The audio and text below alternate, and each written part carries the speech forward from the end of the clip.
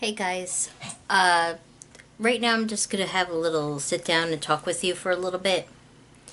Um, I haven't been around in like a month because I don't know. I don't honestly. I don't know what to film.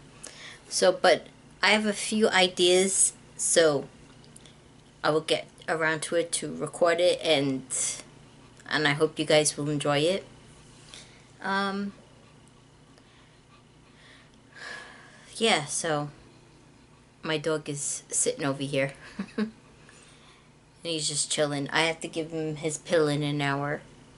So, so yeah. I just got back. We went out, me and my family went out for a little bit. And yeah. This is going to be a short update, but I just want to tell you guys I'm around. Hi.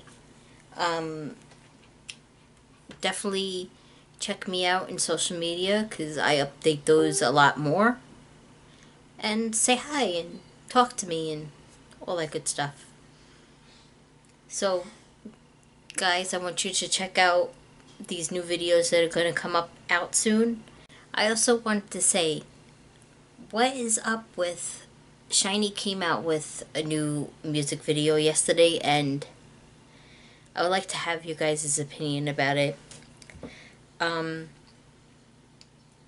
first off, like,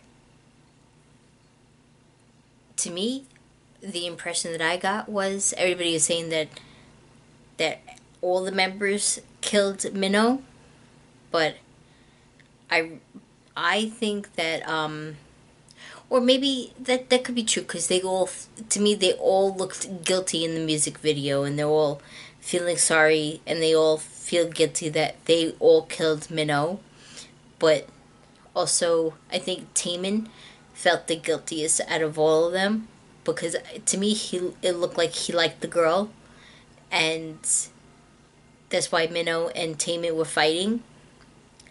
And in the end, she picked Minho, and then when Minho turned on the car, um,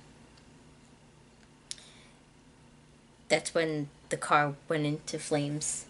And then also, I never ever really watched Law of the Jungle, but I started watching it because I wanted to see how um, Seo In-guk was in in the because I don't know in, he was in one episode of Running Man. He was very very quiet, and he seems very quiet in the show as well. But I don't know. I like him. I think he's pretty cool. What do you guys think? Do you like? Do you guys like Seo In-guk? Let me know. Anyway, that's it for my little chit chat, and I'll talk to you guys in another video. Bye, guys.